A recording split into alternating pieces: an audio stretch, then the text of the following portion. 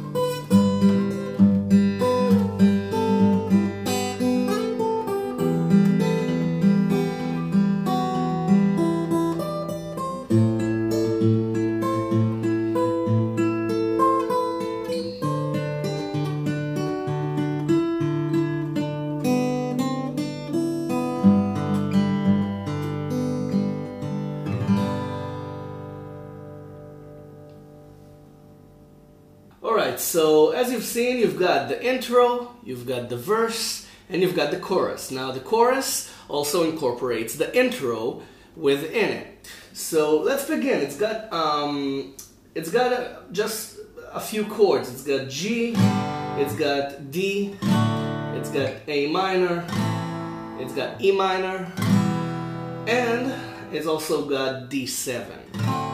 Just for a second there and um, D over F sharp, which is basically an inversion of the D chord, and it's got a minor here as well. D minor shaped uh, with the first finger on 8. Okay, we're gonna get to that.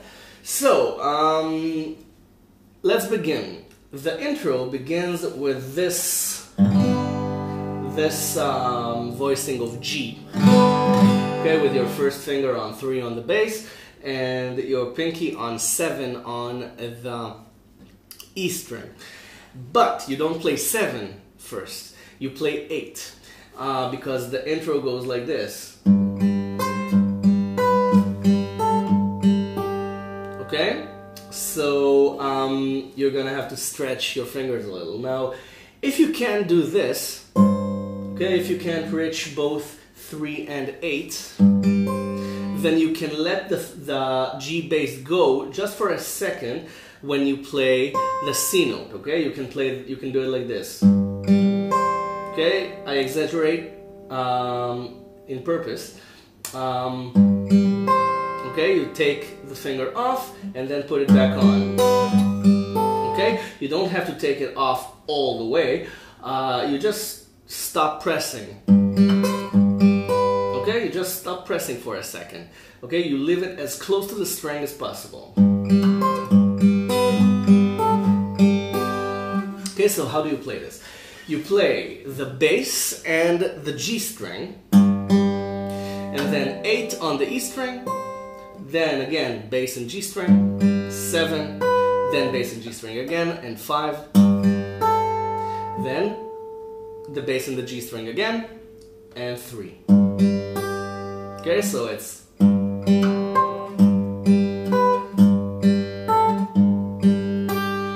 Okay, and then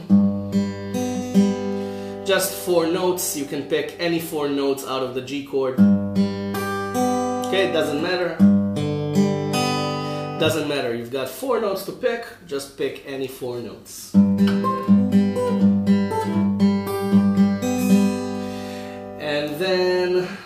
Um, E minor. Now, uh, we don't play the A and D strings, so we don't put anything on, and we play this.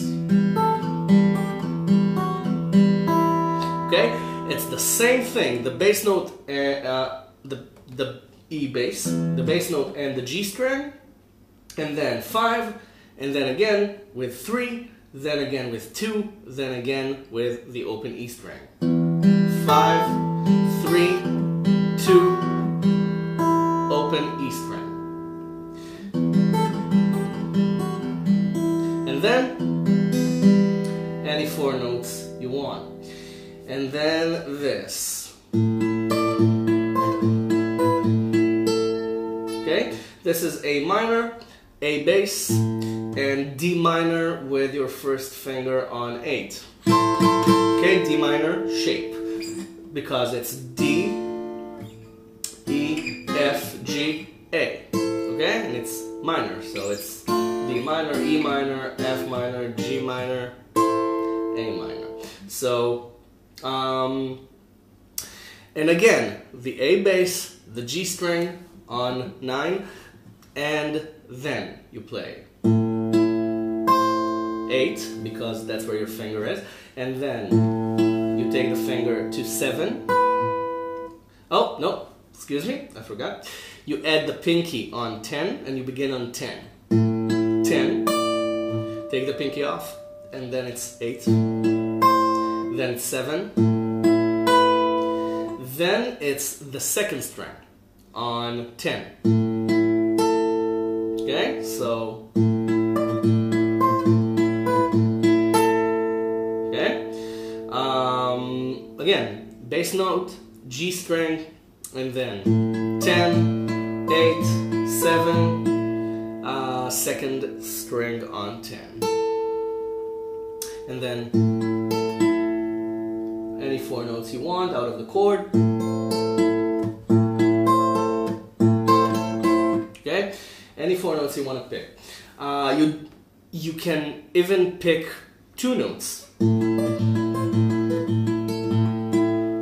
don't have to pick dum dum dum dum. You can do boom dum. Okay, just a light touch of the chord, just the bass note and one more note. Okay, instead of eighth notes, you play quarter notes. Um, it's your choice. Make your own arrangement of this. I, I'm just showing you the melody. You don't have to play what I play. Um, last chord of the intro D, and you play.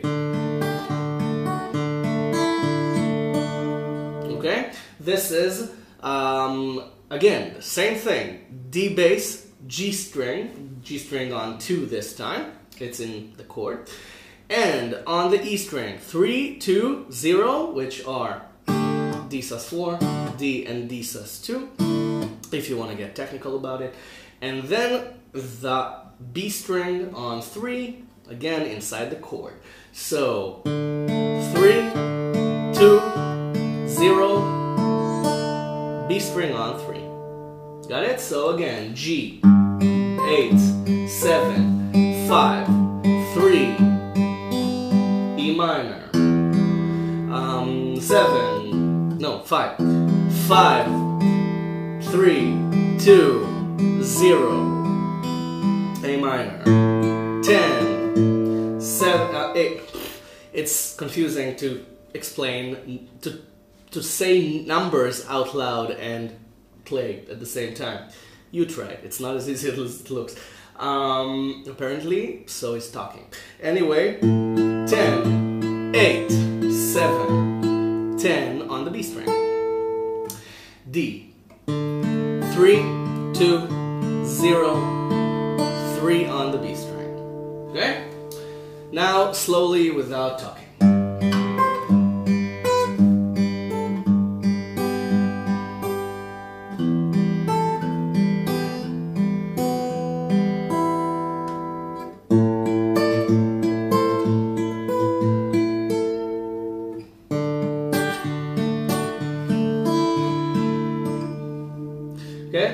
You've wondered uh, what the harmonization was, uh, I just picked the B string along with um, along with the melody notes.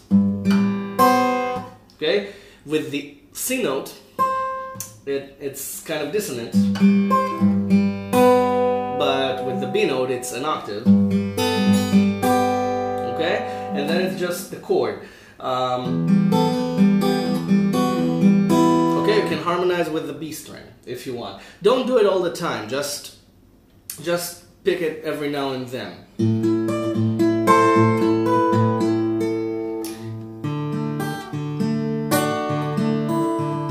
Okay, just use the B string as um, as an embellishment. Verse. Now the verse is pretty easy. Um, it's okay it's uh, 0 1 3 on the b string. Open e string. And then the b string and you play a g chord. Okay you've got an entire bar to fill so you just fill it in any way you want. Okay you can pick any strings you like, you can use any rhythm you like as long as you think it sounds good.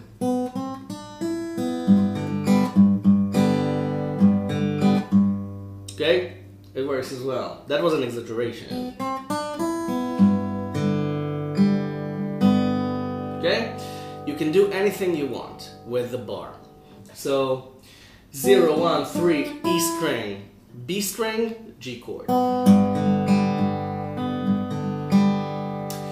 Then again 0 1 3 on the B string, open E string. Then um, it's the open E string again, but prepare the uh, D over F sharp only with an open E string. So it's D sus2 over F sharp. Okay, now uh, the way you pick this um, by the way, if it's D sus2 over F sharp, then it's technically D add 9 because you've got the third note in the bass. So it's D add 9 over C sharp over F sharp. Um, but again, it's just a D chord. So uh, technically, it's a D chord because the melody is built on upon a D chord. Okay, so. Um, technically you're on D, but if you want to get really technical, then this is a form of it's a it's a voicing of D add nine. Okay, as long as you play the F sharp on the bass. Okay, so um, so you play the E bass, and then you play the the um, the F sharp bass, two on the uh, on the E bass.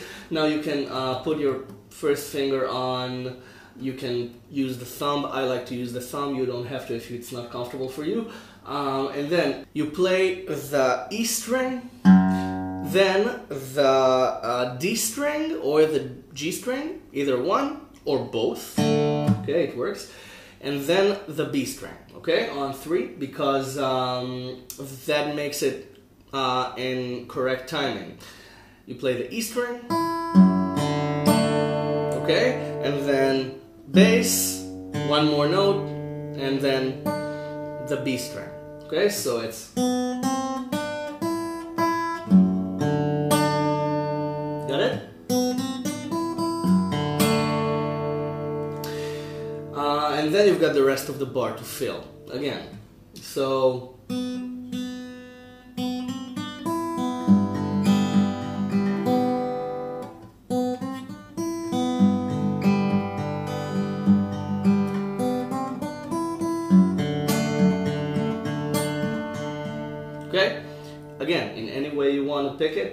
Um, you can change it every time you play as long as you just keep the chord going. And then it's this. Okay, it's 310 on the B string, 2 on the G string. Now you play the A note, 2 on the G string, you play it with your third finger and you put on the A minor chord. Okay, so it's A minor ready, and then 1 on the B string inside the chord and the A bass. And then you just, again, complete the bar in any way you like.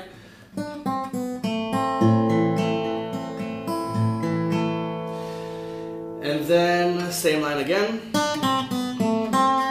This time you end on D7. Okay, it's the same line, 3, 1, 0, 2 on the G string, 1 on the B string, this time inside the D7 chord. Okay? Um, I like to end on a strum because it's dramatic. Um, again, you're done with the verse, by the way. Told you it was relatively easy. Um, G.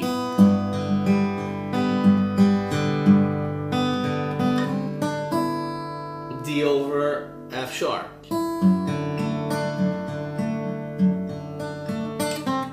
A minor.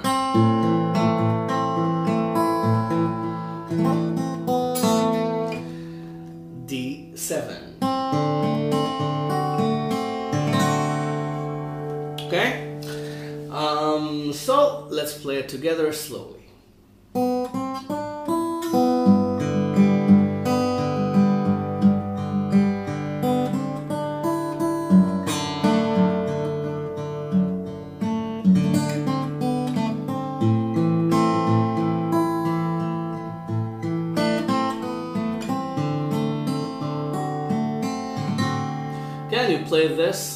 Twice? Now for the chorus.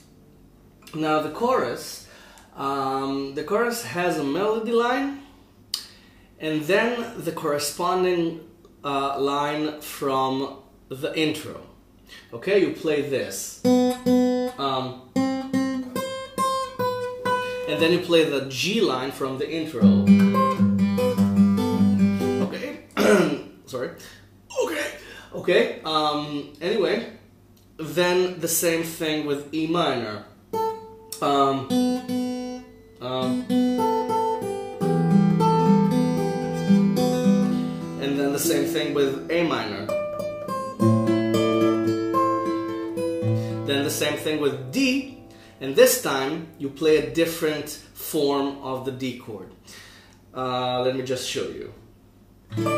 Um,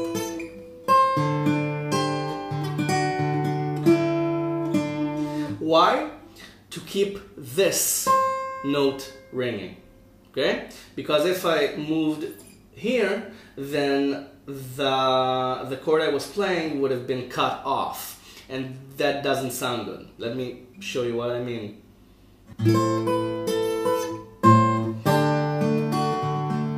Okay?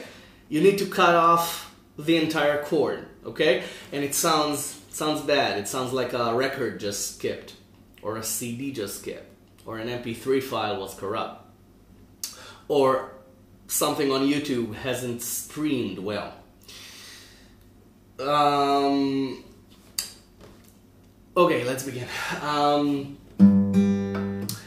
you play this 1 1 on the B string. With your pinky, 8 8 on the E string, 7 7 on the E string, and then you play the G line from the intro. Okay?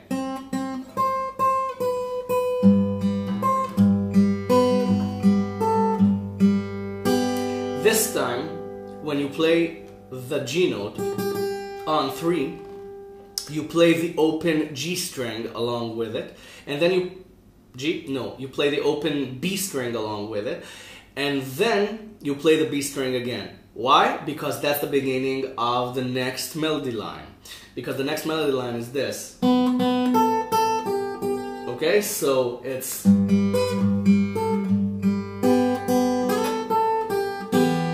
Okay? Um, the next melody line is open B string twice, 5 5 3 3 on the E string.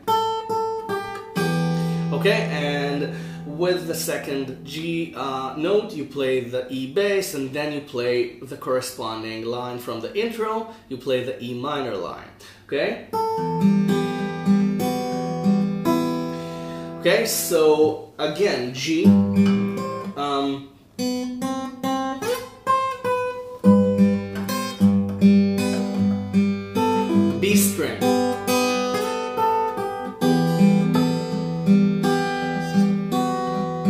you play the E string twice because that's the next line. Okay? So it's. Okay, and so the the chorus and the intro lines blend in together. I hope you can hear it. If not, then I'm gonna play it enough times so you will be able to hear it eventually. Um, for now, just trust me and let's go over this first before we play it over and over again. Um, so now we're in A minor, so it's open E string twice. We've already played that after the E minor at the end of the E minor line. Then 10 10 on the E string, then 8 8 on the E string, and you build the A minor chord, D minor shaped again, and play the A bass. Okay, so it's and then the intro line. and then this. Okay, now except for the um, the end note there, the C note, um, it's seven eight on the E string, ten on the B string, seven on the E string, and then you change positions. Okay, so it's.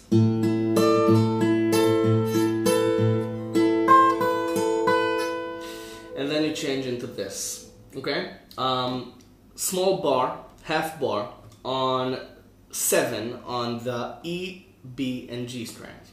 Okay? And your third finger, not your second finger, your third finger, you're gonna need the second finger in a second.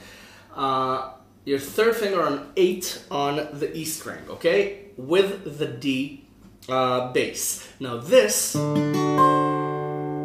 D7, okay? Because this is D and this is D7. So this is D7. Um, now it's the C note, 8 on the E string with the D bass. And then you keep this note ringing and you play uh, with your second finger. Uh, I told you you were going to need it. Um, you play with your second finger on the B string, 8, then 7 with the bar, and then with your pinky, 9 on the G string, take it off, and 7 on the G string with the bar. Okay, so it's se- uh, 8 7 on the B string, 9 7 on the G string. Okay, and try to keep this note still ringing. Okay, so it's. Um,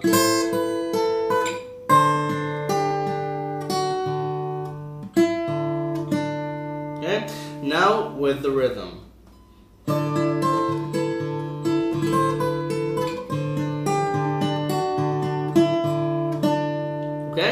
Again, D string, G string, melody note, D string, G string, melody note. Now, when the melody note is on the G string, you don't play the G string. Or you can play the G string and then the melody note, or just the G string twice.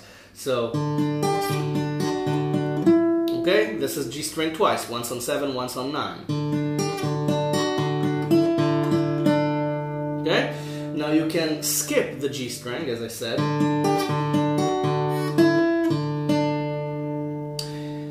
So, uh, let's repeat this. One one eight eight seven seven G line.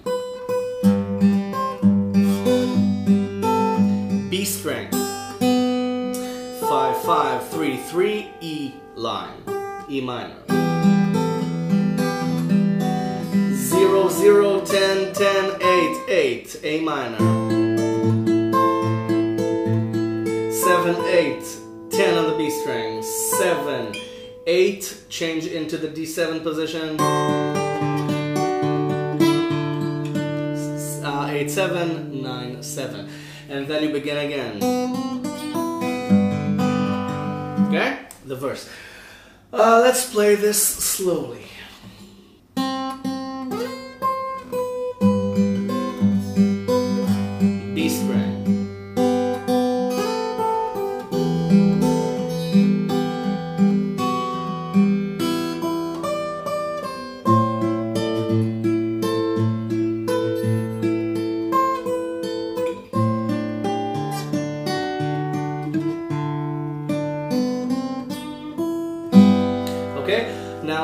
Saying B string when I end the G line because the B note is inside the G chord and it's easy to, um, to ignore it. But the B string is your melody note also, so um, I want you to hear that it's there. Okay, um, so that's it. You're done with uh, the winner takes it all. Um, now again, let's thank the the, um, the student who bought this arrangement for the private uh, guitar coaching session. Um, again, thank you so much for sharing this with everyone. Uh, before you go, subscribe to my channel if you haven't already. I've got a ton of lessons. They're all for free, will always be free. Go download the tab from the website. The link is in the description. Uh, the tab is also free, but in case you want to give something back, there's a donation button, and I'd be very, very grateful for any donation whatsoever. If you want to buy the dogs a biscuit, they'd be very happy as well. Anyway, uh, you go practice this, get it under your fingers, have fun, and uh, remember, make your own arrangement of this. Don't copy what I do. Be your own musician. I'll see you the next lesson. Thank you very much for watching.